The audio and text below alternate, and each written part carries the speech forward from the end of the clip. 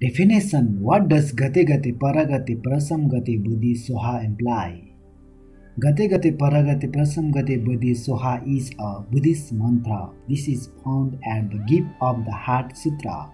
Frequently noted because the great acknowledge Buddhist scriptures and protector inside the Prajnaparamita, perfection of wisdom. Sections of the Mahayana Buddhist canon. It is also referred to as the heart calming mantra. There are a couple translations, however, they percentage the identical fashionable cognizance. The mantra may be translated as gone, long past, gone to the other shores beyond, oh what an awakening. All hail or Sutter's more the concise translation is long past past the beyond to enlighten man. Another perspective in this mantra is gone gone long past all the manner over, every person's gone to the alternative enlightened man, hell. Yogapedia explains each words in Gate Gate Paragate Prasam Gate Bodhi has it is one importance. The breakdown of each phrase is as observed. Gate approach long past, Paragati signify gone to the further shores and each a inventory Sanskrit expression utilized by Buddhists and Jains to console arahants. The words para signify the financial institutions of rivers contrary to the one on which one is presently status. Prasamgate signify completely gone to the in addition shores. The syllable sum means altogether thoroughly or absolutely. The syllables Bodhi is a female noun that indicate walking, know how an enlightened man. The syllable Soha is an indeclinable component from Vedic Sanskrit. It is said to be the name of a wife of Agni, the god of fire.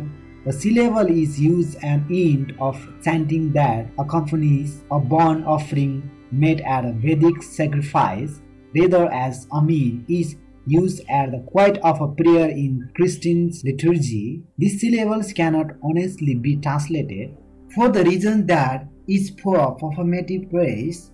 This prayer appears at the quiet of a Heart Sutra is a teachings with the act of Chengre who is additionally referred to as Bodhisattva Avalokitesvara, the Buddha of compassion.